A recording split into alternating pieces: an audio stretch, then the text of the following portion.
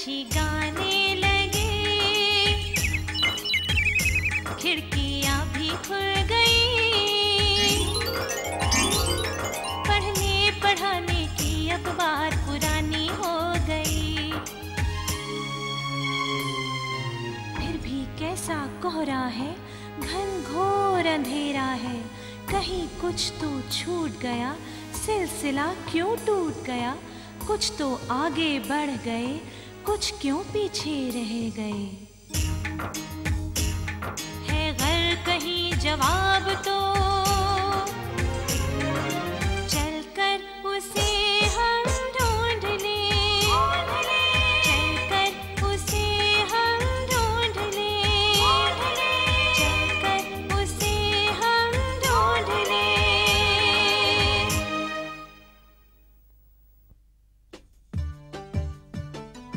पिछली बार की परिक्रमा में मैंने मध्य प्रदेश में साक्षरता कार्यक्रम के विभिन्न पहलुओं का जायजा लिया। मैंने देखा कि किस जोशो खरोश से यहाँ साक्षरता आंदोलन की शुरुआत हुई। पढ़ने पढ़ाने का काम भी हुआ, लेकिन फिर भी काफ़ी लोग पीछे छूट गए। मैंने यहाँ साक्षरता कार्यक्रम का एक अलग स्वरूप भी देखा कि किस तरह यहाँ साक्षरता कार्यक्रम में बाल श्रमिकों को भी शामिल किया गया है, जिससे निरक्षरों की संख्या बढ़ने से पहले ही रोक दी जाए। इस तरह यहाँ प्रौढ़ शिक्षा और प्राथमिक शिक्षा को मिलाकर सर्व शिक्षा अभियान की पहलकदमी शुरू हो गई है। यहाँ नव साक्षरों को रोज़गार उन्मुखी प्रशिक्षण देने के लिए व्यापक सर्वे का काम भी हो रहा है। लेकिन इसमें छूटे हुए लोगों को जोड़ने की चिंता तो यहाँ भी है।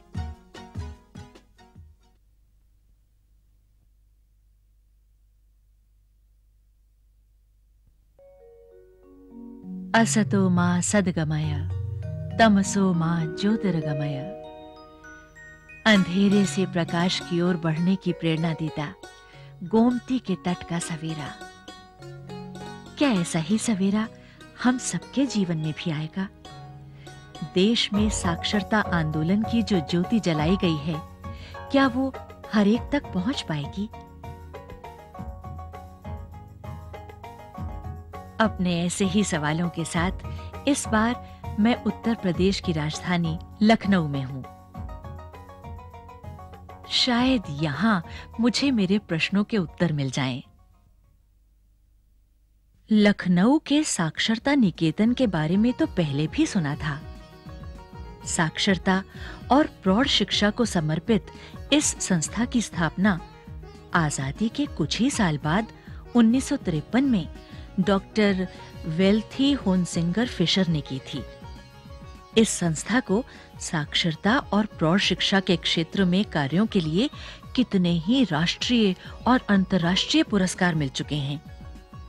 अब ये संस्था उत्तर प्रदेश में साक्षरता कार्यक्रम के लिए राज्य संसाधन केंद्र का काम कर रही है। शायद यहाँ मुझे काफ़ी जानकारी मिल सकती है। 1978 में, जब देश में पहली बार राष्ट्रीय प्रौढ़ शिक्षा कार्यक्रम भारत सरकार ने शुरू हुआ तो सबसे पहली ज़िम्मेदारी इस साक्षरता निकेतन को दी और ये साक्षरता निकेतन उसके बहुत पहले उन्नीस सौ तिरपन से प्रौढ़ शिक्षा के उन्हीं सब कामों को कर रहा था।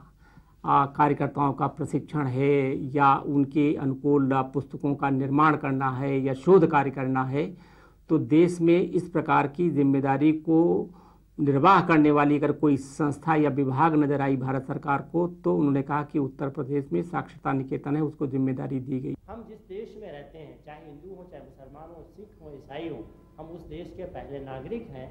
हमारा लगता है यहाँ उस देश की कार्यकर्ताओं का प्रशिक्षण कार्य चल रहा है। हमारे देश को सेकुलर कहा गया है कि धर्मनिरपेक्ष कहा पढ़ने से ज़्यादा कठिन काम पढ़ाना है। अपने धर्म के अनुसार जीवन अगर पढ़ाने वाले में तो समझदारी नहीं होगी जो 14 साल से तो ये काम और भी मुश्किल है। विशेषकर प्रौढ़ शिक्षा का काम तो वैसे ही जटिल है। एक तो उम्र के बाद वो भी जब घर परिवार की ज़िम्मेदारी संभालना मुख्य काम होता है तब पढ़ने के लिए समय निकालना। ऐसे प्रौढ़ लोगों को पढ़ने के लिए प्रेरित करना और पढ़ाना।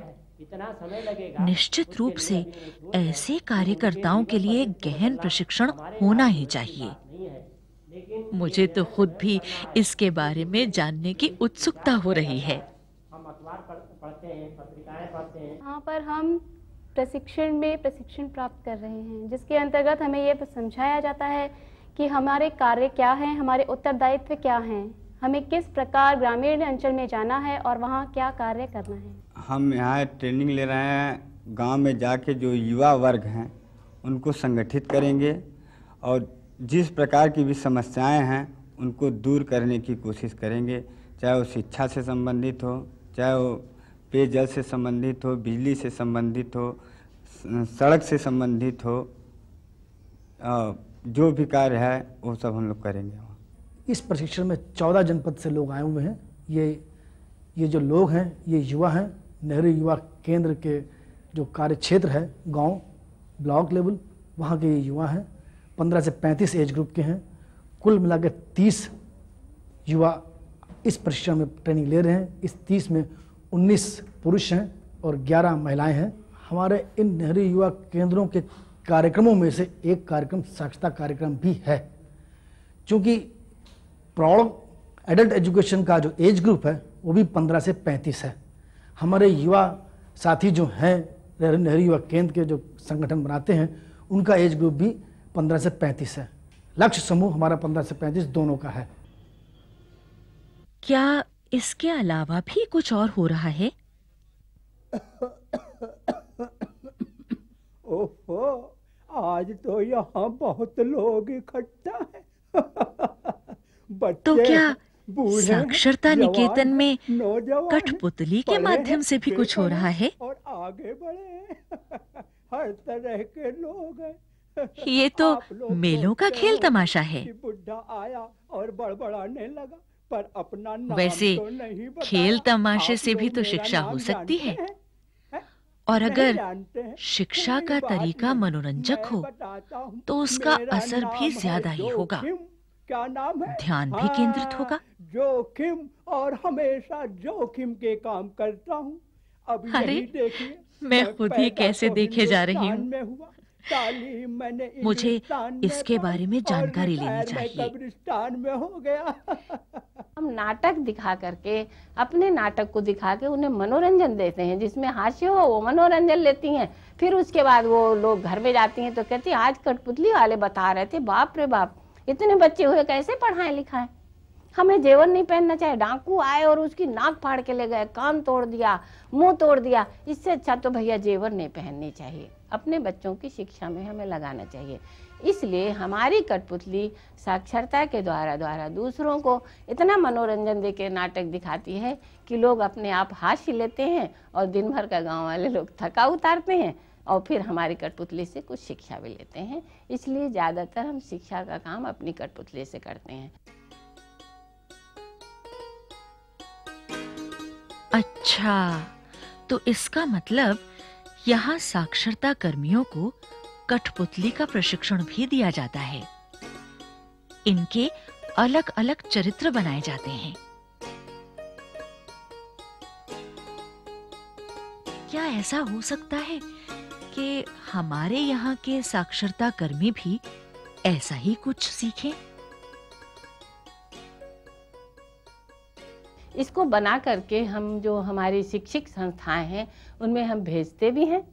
और उसके द्वारा ये लोग गाँव में जा कर के काम करते हैं, क्योंकि उनको सहूलियत मिलती है। इसके चलाने के लिए और ये कठपुतलियाँ बना के हम सप्लाई भी देते हैं। यहाँ से जो हम कठपुतली देते हैं, उससे वो लोग काम करते हैं। फिर उनको लगता है कि अभी हमें सीखने की आवश्यकता है। तो दस दिन आकर के हमारे पास रहते हैं। इसको बनाने से लेकर के रंगना, बनाना, कपड़े सिलना, फिर इसकी प्रकार प्रकार की आवाज़ें बोलना हम उनको बताते हैं।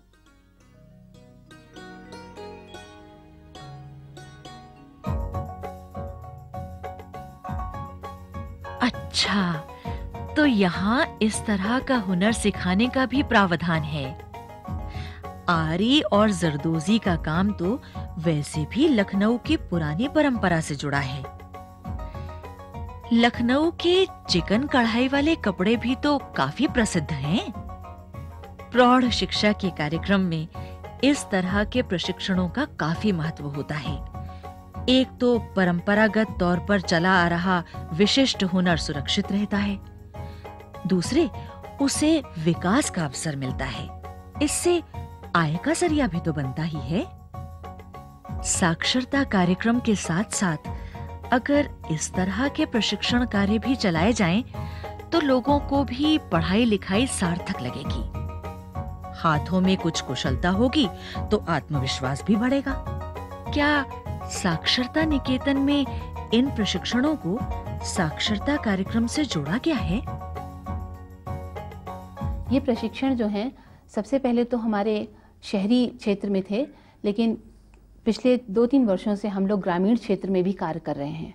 और ग्रामीण क्षेत्र में हम लोग शिक्षा से रिलेटेड कार्य करते हैं, जिसमें उन लोगों को तकनीकी शिक्षा के साथ साथ जो है साक्षरता भी सिखाई जाती है। जैसे सतत शिक्षा कार्यक्रम या कार्यात्मक साक्षरता, जिसे हम फंक्शनल लिटरेसी कहते हैं, क्योंकि हमारी जो भी शिक्षा है वो हम रोज़गार से संबंधित देते हैं जिससे कि लड़कियाँ जो हैं कार्य सीखने के पश्चात अपना कुछ न कुछ रोज़गार कर सकें और आर्थिक समस्या का निदान कर सकें।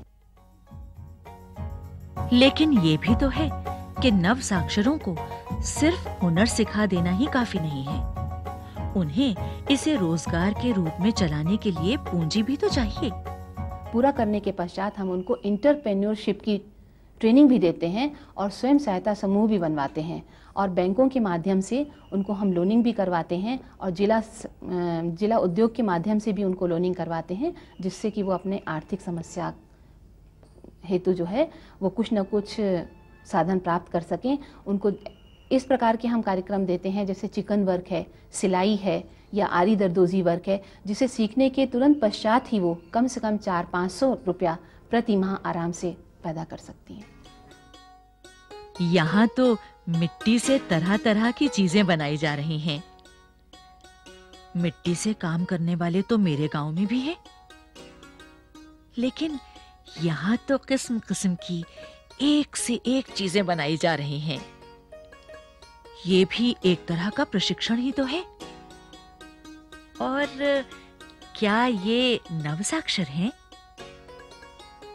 नवसाक्षरों के लिए अगर इस तरह का प्रशिक्षण हमारे यहाँ भी होता तो मुझे इनसे अधिक जानकारी लेनी चाहिए। ये तो अभी बनारस से जो आए हैं, पंद्रह लोग हैं तो दो महीने की ट्रेनिंग इनकी। तो ये पॉटरी और टाइल्स पॉटरी मीन्स बर्तन वर्तन का है। तो ये बनाना और टाइल्स म्यूरल तो वो सिखाते हैं यहाँ पे। तो वैसे तो जो पॉटर्स होते हैं आस पास के एरिए में तो काम कर रहे हैं बहुत दिन से कर रहे हैं लेकिन वो वही करते आ रहे हैं परंपरागत ढंग से अपने तो उसमें कुछ नयापन नहीं आ पा रहा है। अभी तक हम लोग ने गमला सीखा गमला बनाना सीखा और घड़ा फ्लावर पॉट और तीन साइज़ के डिफरेंट टाइप के गमले बनाने सीखा। और ये सीखने के बाद मैं गाँव में खोलने का मैंने चांस है अपना ये और जैसे जो बेरोजगार हैं, उनको भी ट्रेनिंग में ला करके, उनको ट्रेनिंग सिखाने के बाद वो भी ट्रेनिंग कर सकते हैं और, वो भी काम करने के लायक बन सकते हैं। अपने पैर पे खड़े हो सकते हैं और। अच्छा अच्छा। तो ये सभी साक्षरता कार्यक्रम के कार्यकर्ता हैं। ये तो सचमुच ही बहुत अच्छी बात है कि ये कार्यकर्ता यहाँ से वापस जाकर नव साक्षरों को ये विद्या सिखाएँगे। वैसे अगर पारंपरिक रूप से इस काम में लगे लोगों को अगर उसमें कुछ नया करने का मौका मिल जाए तो उनका रोज़गार भी बढ़ सकता है। हम लोगों ने जो एक चीज़ देखा कि अगर हम इसी काम को नए ढंग से क्योंकि समय, समाज जो है, वह अब नयापन खोज रहा है। साधारण जो है हम एक जो है चुक्के में जो है चाय देने के बजाय अगर बढ़िया जो है, उसी को मॉडर्नाइज कर दें और नए ढंग से बनाएँ तो ज़्यादा अच्छा लगेगा। तो इन सब बातों को मद्देनज़र जो है, ये सीखा जा रहा है। चूँकि यहाँ सिखाने का तरीका नए ढंग का है। इससे हमारे सी मतलब कंटिन्यू एजुकेशन में एक वोकेशनल स्किल प्रोग्राम है, जिसके अंतर्गत ये ट्रेनिंग हम नव साक्षरों को जाके सिखाएँगे। इनसे जैसे कुम्हार हुए, कुम्हार तो चाक पे ही काम करते रहते हैं, लेकिन उन्हें कुछ नया तरीका सिखाना है। वो तो एक ही चीज़ बनाते हैं, कुल्हड़ बनाना जानते हैं, कटोरी जानते हैं, ये बना सकते हैं वो उस पर लेकिन उसके अलावा हम चाक के बिना भी क्या क्या बना सकते हैं, वो उन्हें सिखाना चाहते हैं। इससे वो अपनी आमदनी तो कर ही सकते हैं। साथ में जो भी वो पुराने तरीके से काम करते थे, उसे कुछ नया रूप भी दे सकते हैं। और नए रूप दे करके इसके मार्केट में डिमांड बहुत अधिक है। तो हम ये सीख करके वहाँ पर उन लोगों को सिखाना चाहते हैं। वाराणसी के इन साक्षरता कार्यकर्ताओं के विचार तो काफ़ी ऊँचे हैं। मेरी तो यही प्रार्थना है कि इनकी सोच पूरी हो। इन्होंने साक्षरता कार्यक्रम को सचमुच ही एक नई दिशा देने की सोची है। मुझे इनसे और भी काफ़ी कुछ जानने को मिल सकता है।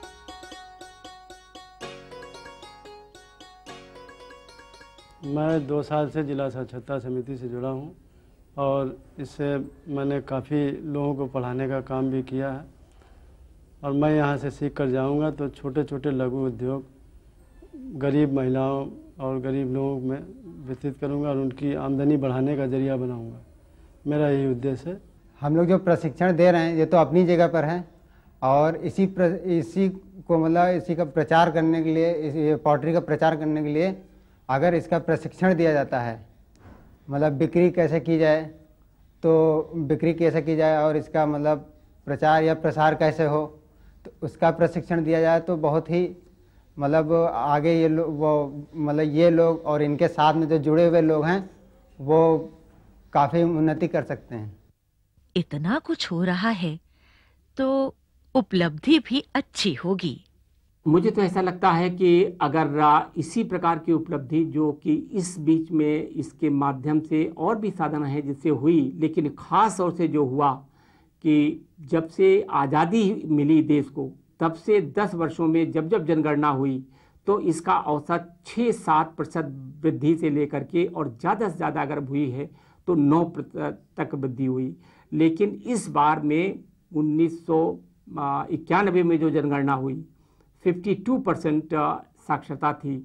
और अब बढ़ करके जब साक्षरता पर ज़ोर दिया गया, खासतौर से महिलाओं की शिक्षा के लिए तो करीब सड़सठ परसेंट, यानी 15 परसेंट की वृद्धि हुई, जो ऐतिहासिक वृद्धि हुई।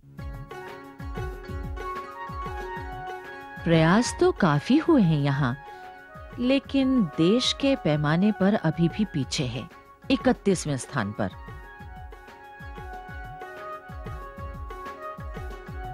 साक्षरता दर 1991 तक तो बहुत ही कम थी। 2001 में सत्तावन प्रतिशत हो गई। प्रयास से प्रगति हुई है।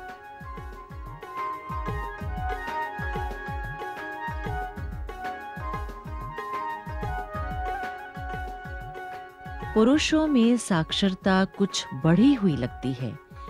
सौ में सत्तर साक्षर हो चुके हैं। लेकिन महिलाओं की साक्षरता तो बहुत ही कम लगती है, लगभग तरतालीस प्रतिशत। उत्तर प्रदेश में साक्षरता और प्रौढ़ शिक्षा का काम इतने पहले से चल रहा है। अनुभवी लोग इससे जुड़े रहे। फिर भी ये राज्य इतना पीछे क्यों रह गया? विशेष रूप से महिलाओं में इतनी कम साक्षरता तो सोचने का विषय है। इसका हल ढूंढना पड़ेगा।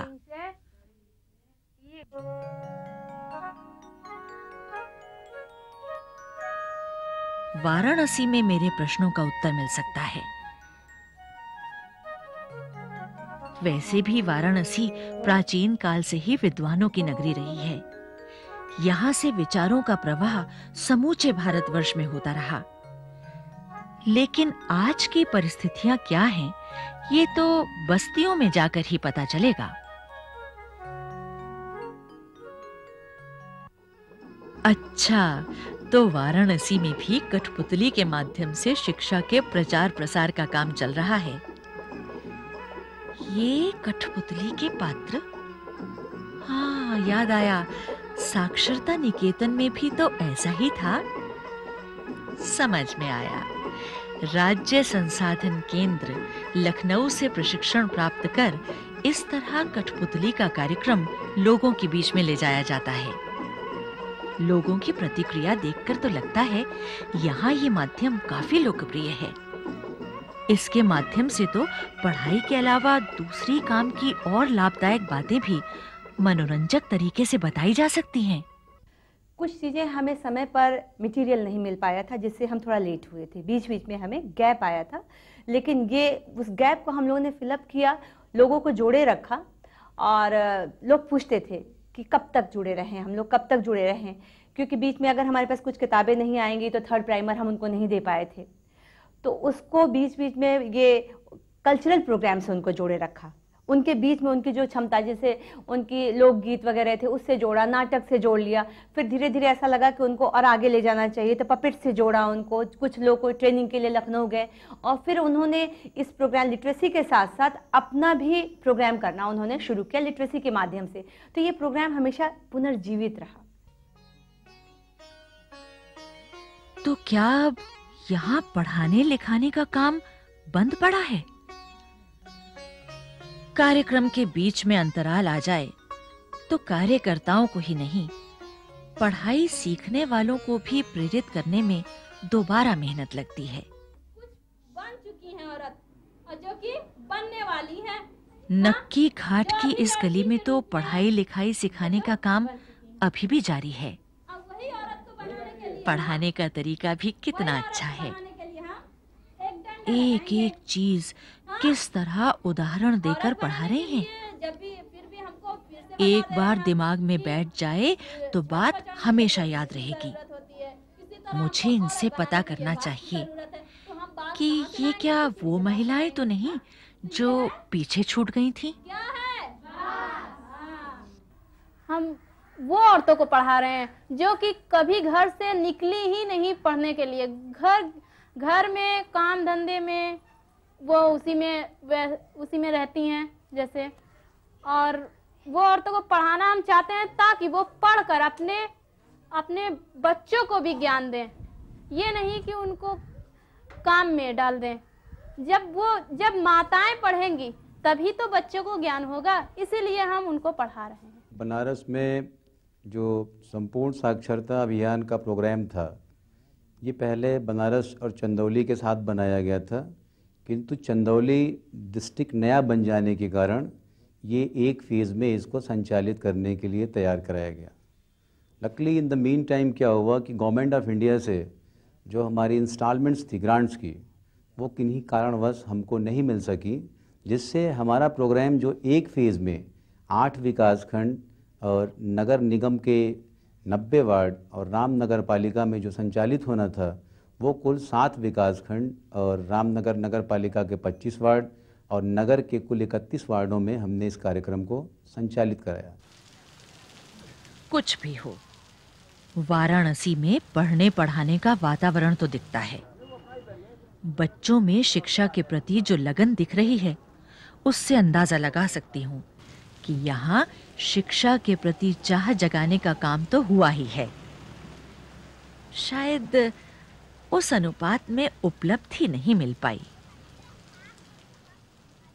हमने यहाँ एनजीओ इनवाइट्स किया और निस्वार्थ सेवा भाव से हमने एनजीओ को इनवाइट्स किया और उनसे कहा कि जो भी स्वयंसेवी संगठन सर्वेक्षण का काम बिना किसी पैसे के करेगा, उसे साक्षरता कार्यों में विभिन्न कार्यक्रम के तहत हम जोड़ेंगे।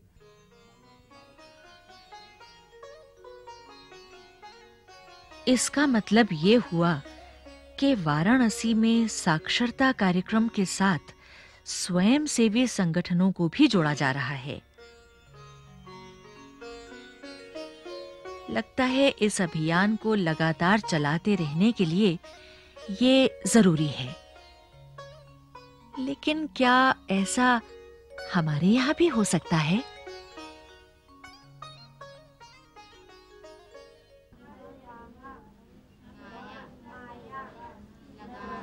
अच्छा अच्छा। तो यहाँ इस तरह से छूट गए लोगों को साक्षर बनाने का प्रयास हो रहा है।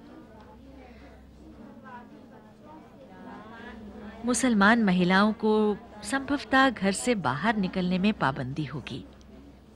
इसीलिए इस कमरे में उन्हें पढ़ाया जा रहा है। लेकिन इन छोटी छोटी कोशिशों से कितना हो पाएगा? शायद एक एक को पढ़ाई की बात पर अमल किया जा रहा है। हम भी पढ़ना चाहते थे लेकिन किसी कारण नहीं पढ़ पाए। हमारे अम्मी अबू नहीं पढ़ाए। लेकिन अब मौका है तो पढ़ रहे हैं और हम पढ़ना भी चाहते थे। पहले भी पढ़ना चाहते थे और अब भी पढ़ना चाहते हैं। हम चाहते हैं कि हम पढ़ें और हमें भी जानकारी हो। पहले हम लोग जाना चाहते थे फिर हमारे काम में इतना हमारे घर था करने में इसलिए नहीं पढ़ सके। इसलिए हम चाहते हैं कि अभी हम बहुत ज़्यादा पढ़ें। पहले तो ये मुस्लिम औरतें हैं और इनका मतलब इनके हस्बैंड लोग का ऐसा काम है बुनाई का काम है। और ये जो है बस घर में बंद की बंदी रह जाती हैं। ये किसी इनके माँ बाप भी इन्हें नहीं पढ़ाएँ। क्योंकि मुस्लिम में बहुत ही कम ही ऐसे पर्दा ऐसी चीज़ है कि ये तो बाहर निकल ही नहीं पाती।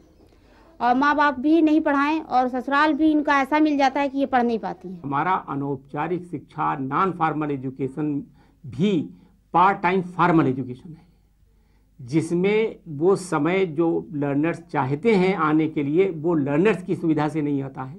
वो जो वहाँ की व्यवस्था होती है, जो शिक्षक होता है, वो तय कर देता है कि इस समय से इस समय तक आना है और इसी पुस्तक को पढ़ना, इसे इतर नहीं पढ़ना है। इसलिए वहाँ ड्रॉप आउट जाते हैं और जहाँ पर लर्नर्स की आवश्यकताओं को दे करके बना, जहाँ का प्रशिक्षित लर्नर्स के लिए ओरिएंटेड होकर के करता है, वहाँ ड्रॉप आउट्स हैं, लेकिन बहुत कम है।